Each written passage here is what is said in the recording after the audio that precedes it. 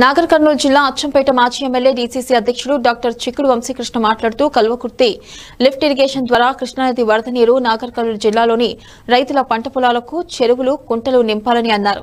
కానీ జిల్లాలోని మంత్రులు ఎమ్మెల్యేలు ఇవేవి పట్టనట్లు ఉన్నారని తెలిపారు. కాంగ్రెస్ హయాంలో జరిగిన పనులకు టీఆర్ఎస్ ప్రభుత్వం ప్రారంభోత్సవాలు చేస్తున్నారని జిల్లాలోని మంత్రులు ఎమ్మెల్యేలు నిర్లక్ష్యంగా వ్యవహరిస్తున్నారని అన్నారు.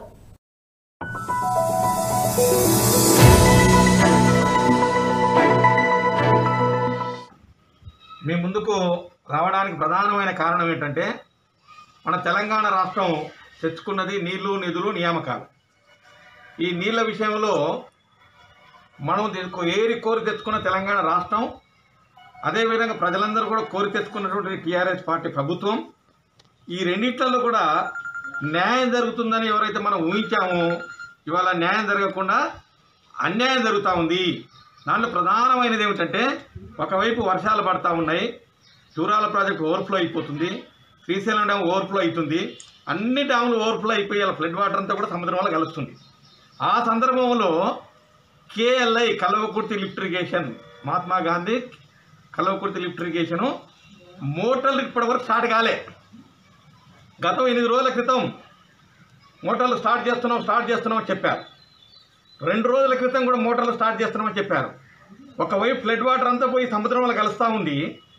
మోటార్లు స్టార్ట్ చేయకపోవడానికి ప్రధానమైన కారణం ఏంది? ప్రభుత్వం చెప్పాలి. మాకున్న సమాచారం ఏమిటంటే అధికారులతో మాట్లాడినప్పుడు మోటార్లు బటన్ నొక్కేటోళ్ళకు కరోనా వచ్చిందంట. నా ప్రశ్నకు సమాధానం చెప్పాలి. ఎందుకు స్టార్ట్ చేస్తలేరు? అంటే కరోనా వస్తే వదిలిపెడుతున్నావా ఇవాళ?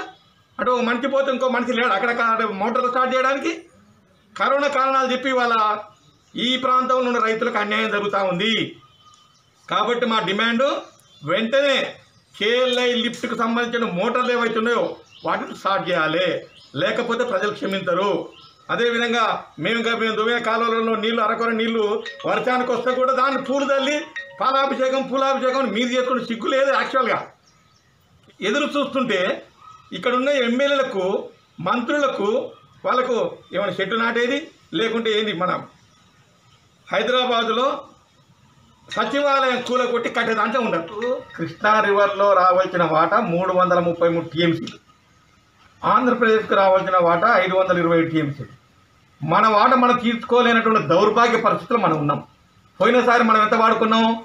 రెండు వందల అరవై రెండు టీఎంసీలే మాత్రం వాడుకున్నాం. డెబ్బై మూడు